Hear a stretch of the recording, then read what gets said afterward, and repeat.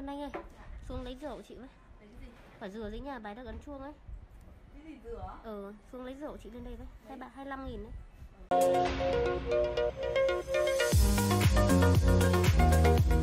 Ừ.